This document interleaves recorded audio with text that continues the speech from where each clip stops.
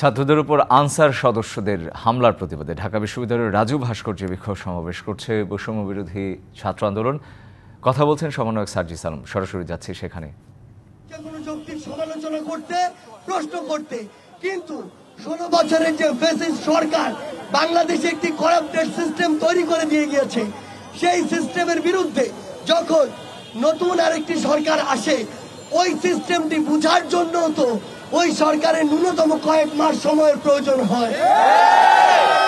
পাশাপাশি এই যে ফ্যাসিস্ট সরকার ষোলো বছরে আমলাতন্ত্র থেকে শুরু করে বাংলাদেশের প্রত্যেকটি সেক্টরে তার তোষামতকারী ও মদতপুষ্ট যাদেরকে বসিয়েছে, এখনও তো তাদেরকে সমূলে উৎপাদন করা যায়নি।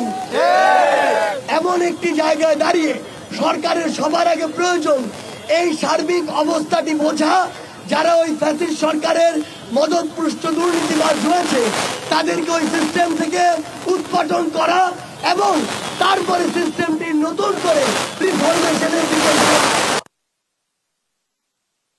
আমরা গতকালকে লক্ষ্য করেছি, আনসার বাহিনীর নাম করে কিছু সন্ত্রাসী সদস্য।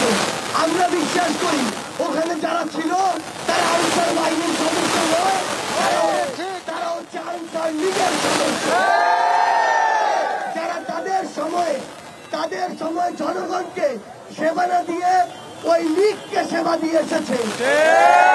যারা যোগ্যতার ভিত্তিতে যে না এসে লীগের তোষামত করে পা ওইখানে এসেছিল।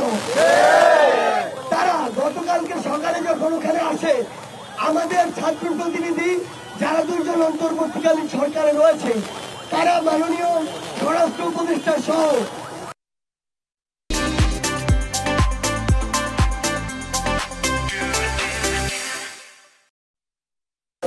কথা বলছিল তাদের একাধিক আলোচনা হয়েছে।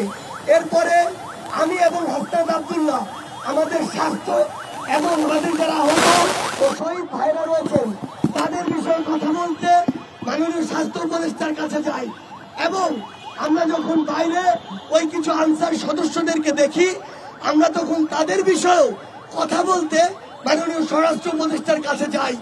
অর্থাৎ ছাত্র জনতা যে কোনো সময় বাংলাদেশের নাগরিকের যে কোনো দাবির জন্য সেটি শুনতে প্রস্তুত এবং সেটি আলোচনা করতে প্রস্তুত।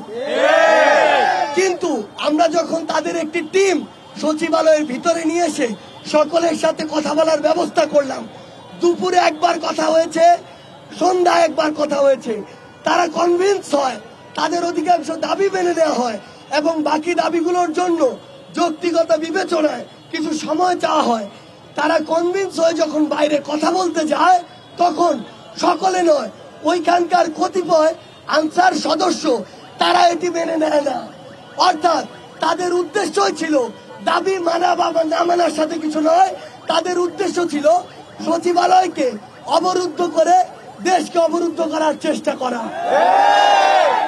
সেই জায়গা থেকে আপনারা ইতিমধ্যে জেনেছেন যে ওইখানে আনসার লীগের যারা নেতৃত্ব দিয়েছে, তাদের মধ্যে প্রধান যিনি ছিলেন, তিনি এর পূর্বে স্বেচ্ছাসেবক লীগের একজন নেতা ছিলেন।